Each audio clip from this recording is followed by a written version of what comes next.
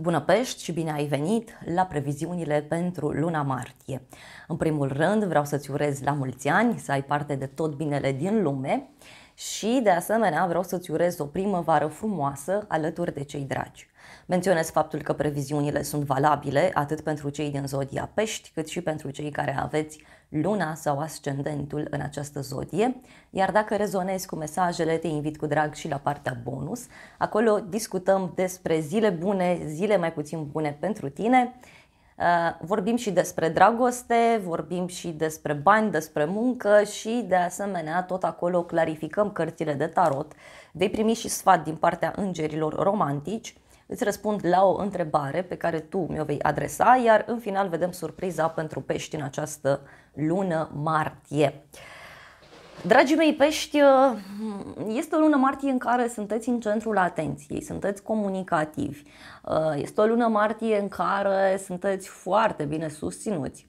Aveți o protecție specială, dar este și o lună martie în care tu vei străluci te vei simți bine, te vei simți apreciat sau apreciată.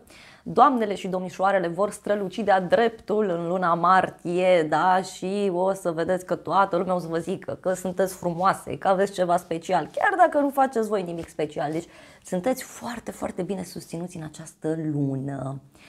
Apoi, Uh, uite, avem o lună nouă în semnul tău zodiacal, pe 10 martie. Este o lună nouă frumoasă, o lună nouă care pentru pești uh, poate să însemne un nou mod în care arăți, o noutate privind viața privată. Poate să însemne și un moment în care îți dai ca un fel de resetare din punct de vedere personal, dar zic eu că este o lună nouă care deschide o perioadă foarte bună pentru tine în care îți poți rezolva foarte multe lucruri. Da? E ca și cum peștii de foarte mult timp au așteptat să facă o schimbare, să aibă curajul necesar și acum este momentul. Apoi avem echinocțiul de primăvară, care reprezintă intrarea soarelui în semnul berbecului și începutul primăverii astronomice, la noi, în emisfera nordică.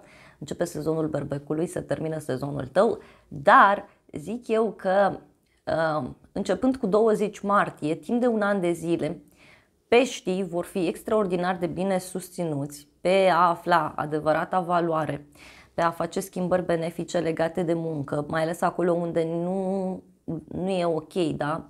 Acum, nu neapărat că îți schimbi locul de muncă, poate știu eu mai renunți la anumite activități pentru că îți dai seama că ele nu îți sunt benefice. Da? Și foarte mulți pești văd eu că o să reușiți să vă eliberați începând cu 20 martie de niște lucruri uh, care nu erau benefice. Pot fi lucruri care, știu eu, uh, cumva îți pierdeai energia prin ele, e ca și cum lucrai dublu, dar erai plătit ca un om normal sau uh, ți asumai niște responsabilități care nu erau neapărat ale tale, da? puteau să fie și rudele acolo să se implice, puteau să fie și alți colegi uh, sau mai știu eu, da? E, e un moment bun, zic eu, din acest punct de vedere. Luna se termină cu o eclipsă de lună, o lună plină în balanță, care e foarte puternică, se produce chiar de bună vestire, da? e o sărbătoare importantă pentru, pentru creștini. Um, luna asta plină sau eclipsa reprezintă un moment în care peștii pot rezolva o chestiune foarte importantă. E ca și cum acum reușești să elimini din viața ta ceva pe care din nou îți consuma energia. Poate discutăm despre a finaliza o situație legată de o bancă. Unii pești poate acum reușiți să finalizați ceva legat de o moștenire, legat de o sumă de bani. Poate este vorba despre o schimbare mare care apare, poate în viața privată. Da? Uh, unii, cu siguranță, treceți prin niște transformări destul de puternice. Vă zic și vouă că luna martie, mai ales spre final, vine cu teste pentru toată lumea. Uh, este un test suprem acolo legat de dragoste, legat de bani, um, legat de aprecierea pe care o primim. Doar că vezi tu, conjuncția asta se produce în zodia ta, da? între Saturn și Venus și atunci, din nou, e foarte, foarte important pentru pește acest aspect. Um, foarte mulți, uh, cu siguranță, da, o să treceți printr-un fel de test în relația cu partenerul, dar pentru voi testul ține fie de o cheltuială, fie de o împărțire a unei moșteniri, fie de un partaj, fie de uh, o bancă, da, de pierderea unei, a cuiva, a ceva anume, dar vedeți voi, pierderea asta este eliberatoare da? pentru, pentru voi.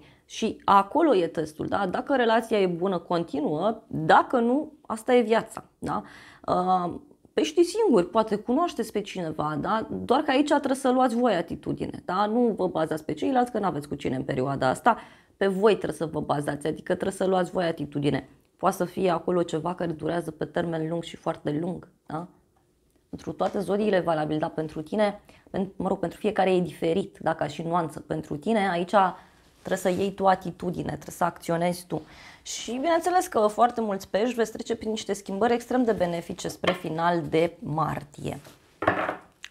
Să vedem acum uh, și arhanghelii ce zic. Ai văzut că a venit pisica în vizită, ea tot în semnul peștilor e născută. Nu știu exact data că am găsit-o pe stradă și din ce mi-a zis veterinarul acum mulți ani când am găsit-o, uh, am făcut eu calcul și cumva sezonul peștilor trebuia să fie născută, da? Bun. Hai să vedem.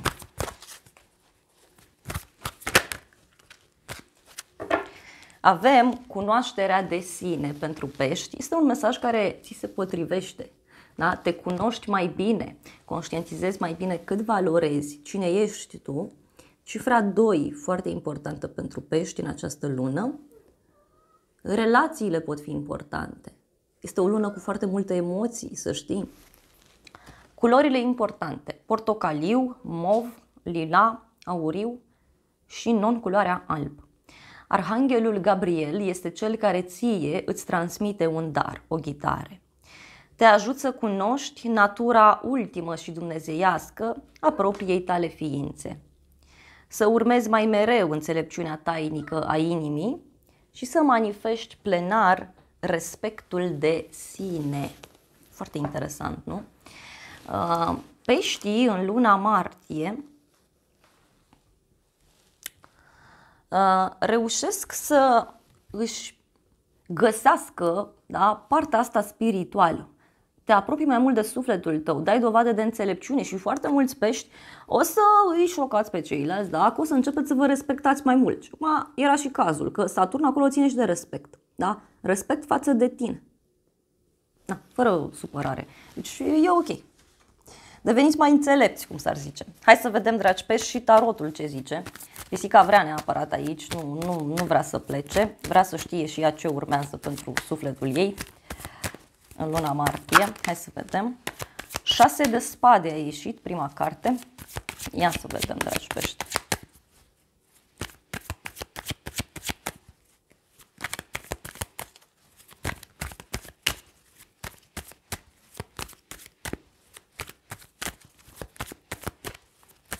Pentru pești.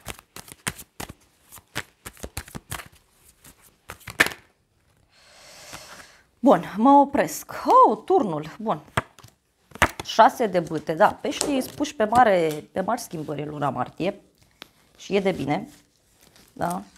Schimbări mari în casă, în familie, în viața privată, acolo, acolo se întâmplă lucruri. Marele preot, asul de spade, steaua, o legătură cu zodia vărsător, zodia taur. Uh, peștii în luna martie iau o hotărâre foarte importantă privind o căsnicie, privind uh, un examen, privind um, o colaborare importantă. Poate să fie și asta. Deci este o lună în care se fac niște schimbări destul de mari da, pentru voi, schimbări benefice.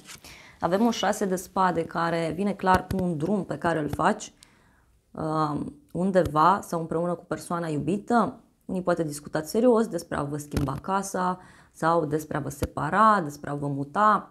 Alții văd aici că faceți un drum important împreună cu persoana iubită sau în urma unui drum. Uh, aici se pot întâmpla multe lucruri. Pentru că, uite, șase de bâte e la baza manifestărilor tale. Deci, pești în luna martie îs așa direcții, da, direcții, nu, nu mai stați la discuții. Este și o lună în care ai parte de succes, de bucurie, îți dai seama cine ești, vrei să fii apreciat, dar oricum vei fi apreciat, da? Așa că profitați de chestia asta, profitați. Venus se simte foarte bine în zodia voastră. Da? O să aveți așa un aer diafan, special, și bărbații și femeile, da? ca să nu discriminăm. Turnul în inima ta, e clar aici că din punct de vedere personal poate să apară un eveniment neașteptat, cineva care pleacă, cineva care trece prin schimbări, dar aș merge și pe faptul că tu vei zice lucrurilor pe nume. Da? Turnul mai înseamnă și când afli un adevăr. Da? Sau te apuci și zici, izbucnești și zici gata, am terminat. Pajul de cupe în mintea ta, deci ești ca un uh, copil așa în sufletul tău în luna martie, niște vești bune care apar din punct de vedere profesional, o invitație pe care o oferi cuiva sau cineva care îți oferă o invitație, bineînțeles. Lumea, lumea aici reprezintă un succes, un sfârșit karmic, o eliberare. Pentru unii pești puteți să aveți legătură cu o persoană care vine din străinătate sau o persoană care cumva este din altă cultură, din altă religie. Se vede clar aici o finalizare, se vede clar aici un apogeu. Finalizați un proiect, finalizați ceva important.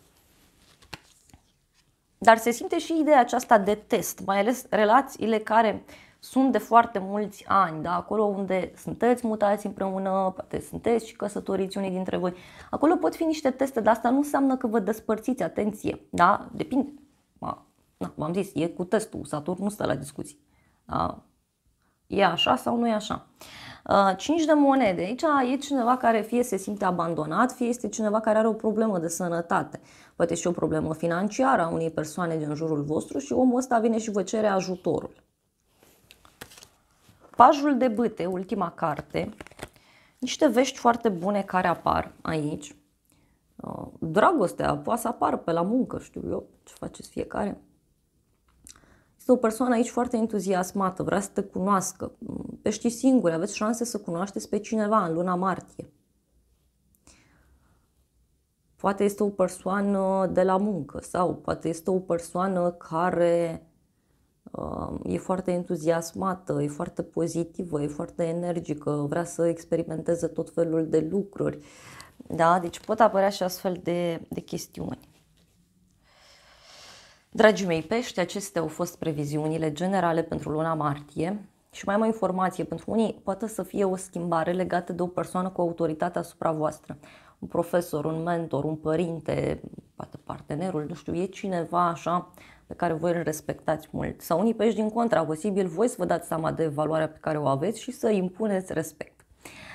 Vă îmbrățișez cu drag, vă mulțumesc că mi-ați rămas alături până la final. Sper din suflet să fie de folos aceste informații și îți urez încă o dată o primăvară frumoasă alături de cei dragi și dacă vrei o analiză cu mai multe detalii, te invit cu drag și la partea bonus. Acolo o să vedem care sunt zilele bune, zile mai puțin bune pentru tine, vedem cum stați cu dragostea, cei singuri, ce aflați într-o relație, vedem cum stați cu banii, cu munca și uh, tot acolo clarificăm cărțile de tarot, primești și sfat din partea îngerilor romantici îți răspund la o întrebare pe care tu mi-o vei adresa, iar în final vedem surpriza pentru pești în luna martie. Și îți reamintesc și de aplicația Cristina Zurba, disponibilă atât pe iPhone cât și pe Android. Te invit cu mare drag acolo, ai link în primul comentariu ca să fii sigur că ajungi la aplicația care trebuie și dacă vrei, este și site-ul cristinazurba.com.